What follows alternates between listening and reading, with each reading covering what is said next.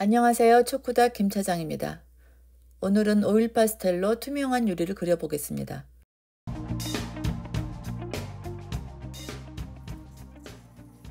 찰필로 스케치합니다.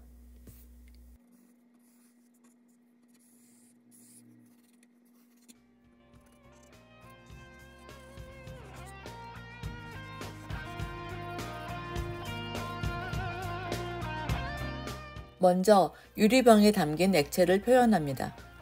brown 계열의 오일 파스텔을 손에 묻힌 후 문지르듯이 색을 펴서 칠합니다.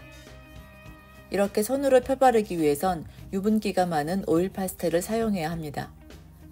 지금 사용하는 제품은 까렌다시의 red brown입니다. 까렌다시가 없다면 문교 제품도 괜찮습니다.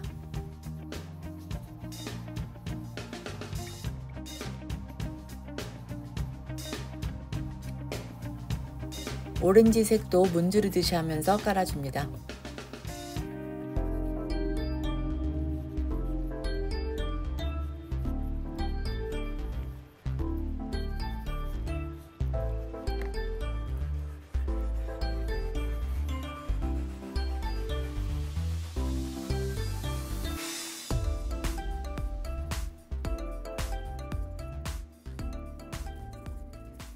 어느 정도 브라운 액체를 표현하고 나면 이제 화이트 컬러를 준비합니다. 까렌다쉬 제품을 추천합니다. 위에서부터 그려 내려오겠습니다.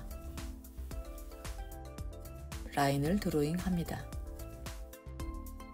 라인을 긋고 쓱 문대줍니다. 그래야 투명하고 단단한 느낌이 납니다. 유리 표면의 빗처리는 오일 파스텔을 눕혀서 사용해 주세요.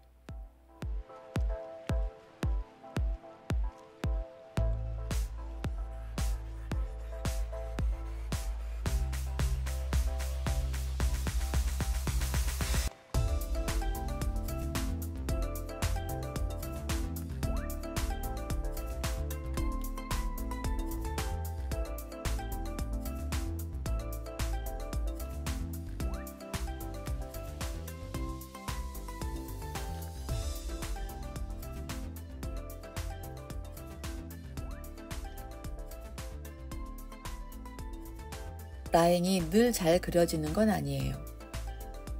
선이 삐져나갔다면 검정색 색연필로 깔끔하게 수정합니다. 오일 파스텔을 세우거나 눕혀가며 면을 채웁니다.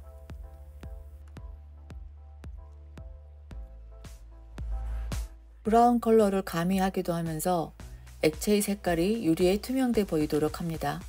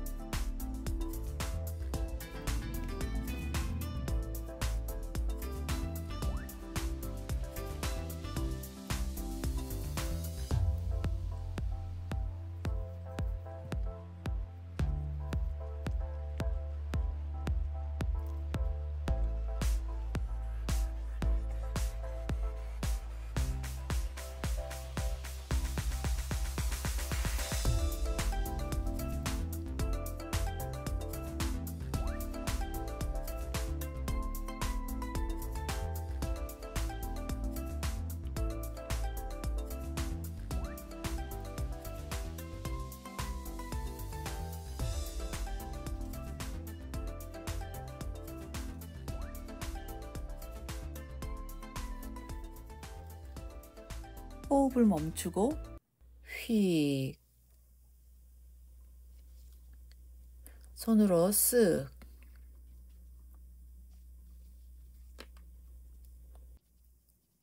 또 삐고 났나요? 블랙 색연필로 수정을 해주세요. 라인이 한 방에 완성된다면 얼마나 좋을까요?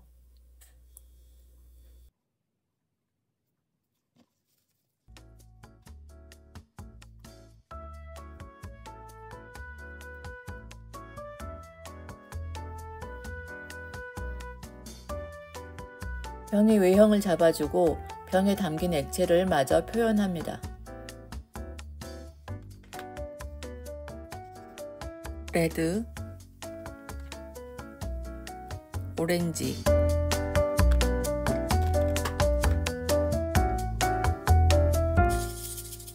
오렌지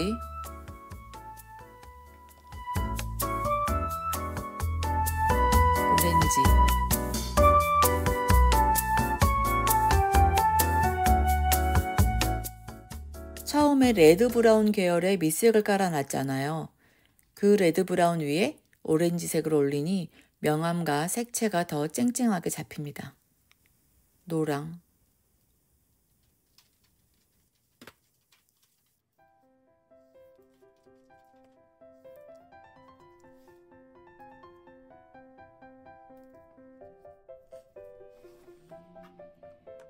레드 요거는 펜텔 제품의 스칼렛 컬러예요.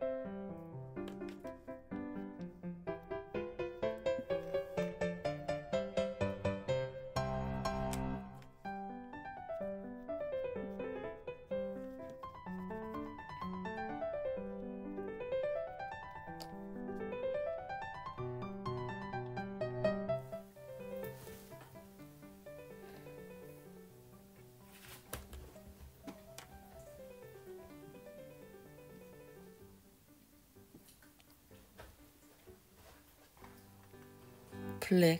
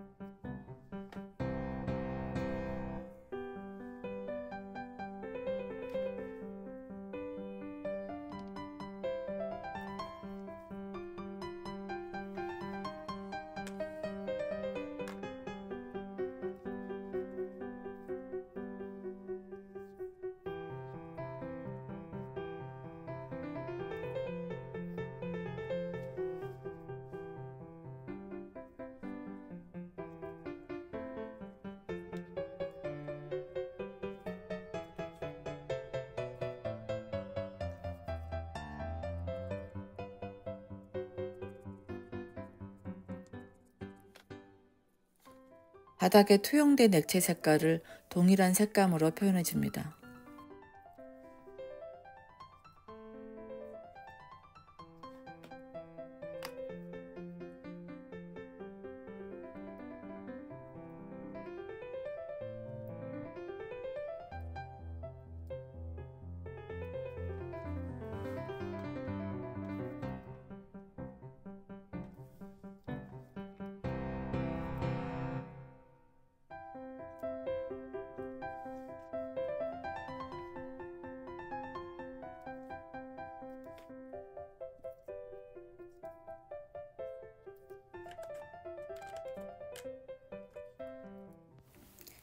이제 이 그림의 하이라이트자 마무리. 유리에 빛 처리를 합니다.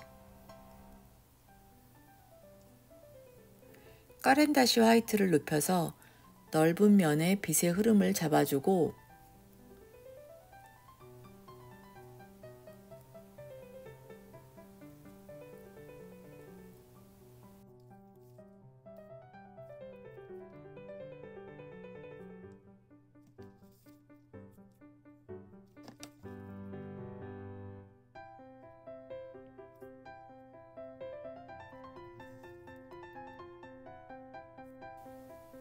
작은 덩어리의 빛을 유리의 흐름을 타고 표현을 또 해줍니다.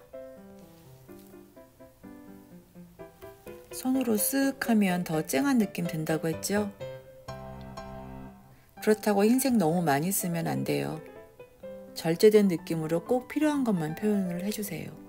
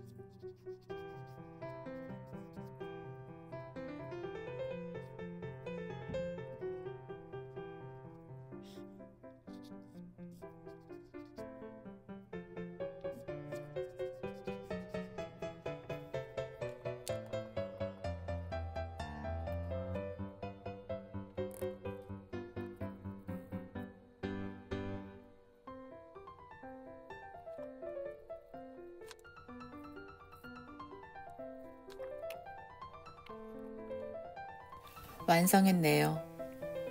화이트로 투명체 표현하는 거 참 쉽죠. 그림을 다 완성한 후에는 페인트 롤러를 가지고 검정색 배경 부분을 정리해 줍니다.